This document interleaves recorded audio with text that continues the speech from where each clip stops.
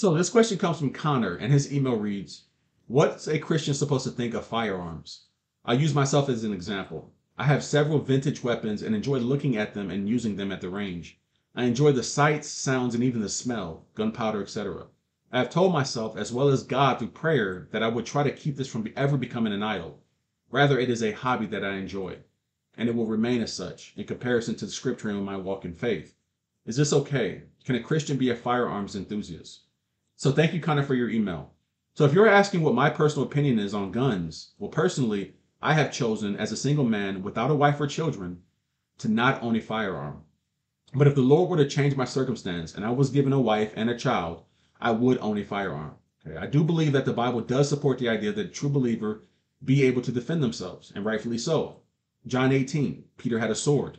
Okay, and we see that the Lord declared that it was a good thing that they carried swords for self-defense purposes. We find this in Luke 22. Now, guns, like anything else, can become an idol. And you need to be very careful about this. Okay. I've seen YouTube channels where guys, you know, this guy is walking around his house and he's literally got 500 guns scattered all over his home on the floors, the couches. It's just ridiculous. this one guy had a 50 caliber turret machine gun sitting at his bedroom window so that he could protect his home against invaders. See, a lot of this is rooted in a lack of faith and not trusting God. Okay. Isaiah 54 17. No weapon formed against me shall prosper. Do you really believe that as a Christian? Because at the end of the day, a gun is not going to save your life. Okay, it's the Lord that determines that. Now, I used to watch this TV show called The First 48, and it was interesting because many of the times when the police would show up on the crime scene, you know, in some inner city neighborhood, a lot of the times the guy that got killed, his gun would be sitting right next to him, or it'd be in his pocket hanging out. It didn't matter that he had a weapon, okay? Because when the Lord requires your soul, you're going. I don't care if you've got a whole army, okay? And on the other end of that, you're invincible until it's your time. Now, again, I'm not against guns. All I'm saying is that a lot of the idolatry surrounding guns is rooted in a lack of unbelief. Also, really quickly, I wanted to touch on the difference between murder and killing because there is a difference. Now, John Piper has an interesting take on guns. He has chosen not to own a gun for home defense because, as he puts it, he would rather die than to kill an unsaved intruder who would be sent to hell if he shot him dead. Now, me personally, I believe both perspectives are right. Okay, the man of God who chooses not to arm himself and to trust the Lord, and on the other end, the man of God who arms himself to protect his family. I believe both can be right and just in the Lord's eyes. But to those who do choose to arm themselves as Christians, there needs to be a level of grace. Okay, I remember watching a Christian YouTube video about self-defense, and in the comments, some of the commenters who called themselves Christians were saying things like, "Yeah, if somebody breaks in my house, I'm gonna empty the whole clip in their chest, or I'm gonna take their head off of my shotgun." Things like that.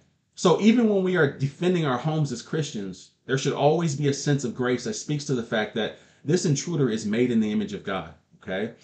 Now, a lot of these guys that are quick to want to kill someone, that speaks to the nature of their heart. That's what it does. So be very careful because you may think it's home, it's self-defense, but the prosecution would call it murder. You know, there are a lot of men in prison right now because they killed someone who was invading their home. So as Christians who are gun owners, it is your right to legally own a gun. It is also your right to defend the life of you and yours. But as Christians, in the same manner that we should be slow to anger, we should be slow to kill.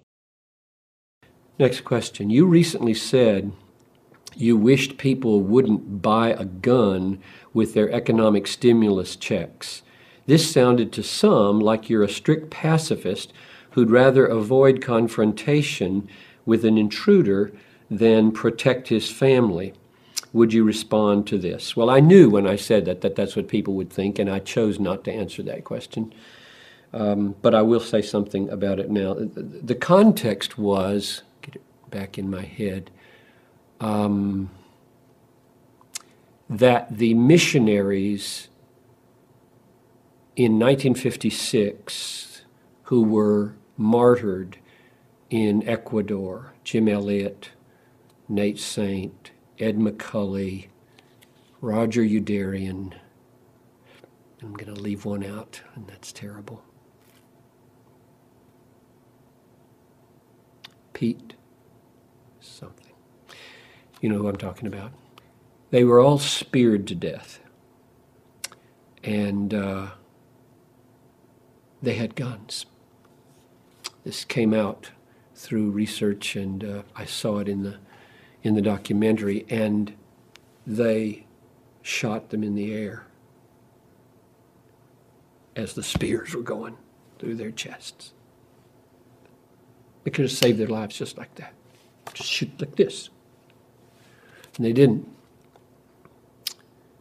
And uh, our Supreme Court just declared that the, which is a Second Amendment, one of the amendments, uh, with the right to bear arms includes not just the right of a militia to bear arms, but the right of a person to have a firearm in his house.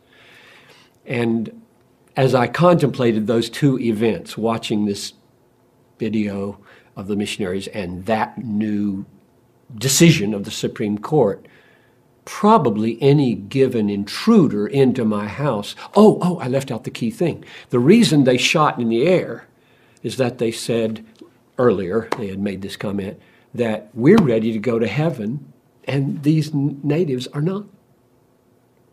So why would we kill them rather than being killed? So I thought if somebody enters my house as a thief, he probably is not ready to go to heaven either. So, and then I just ended the blog.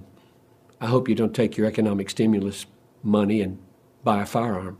I've never had one, never owned a firearm, had a pellet rifle when I was little, and I killed squirrels. And I'm sort of ashamed of the way I killed squirrels because I didn't eat them and didn't do anything with them. I just felt it was cool. And I think that's a very wholesome thing. Um, no, I'm not a pacifist. I'm not a pacifist principially. I, I would. I'm not a pacifist act, actively. So somebody asked me, "So would you protect your daughter if you had a gun?" And I wrote back to Abraham one word answer: probably. Meaning, the circumstances are so unpredictable. What would you do? Would you shoot the guy in the head? shoot the guy in the chest, shoot the guy in the leg, or throw the gun at him, or hit him over the head with it. Or, of course, I'm going to protect my daughter. But I'm not aiming to kill anybody, especially an intruder who doesn't know Christ and would go straight to hell, probably. Why would I want to do that if I could avoid it? So, no, I'm not a pacifist. I'm not a pacifist. I believe there should be a militia. I believe there should be policemen with billy clubs and guns. They should take out guys that are killing people. And I believe in the military to protect a land from aggression.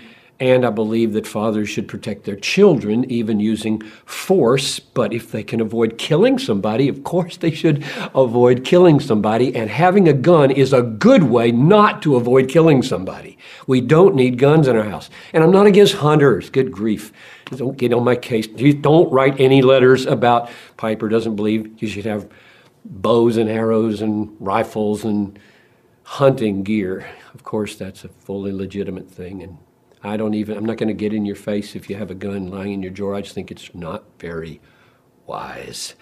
Those who live by the gun will die by the gun.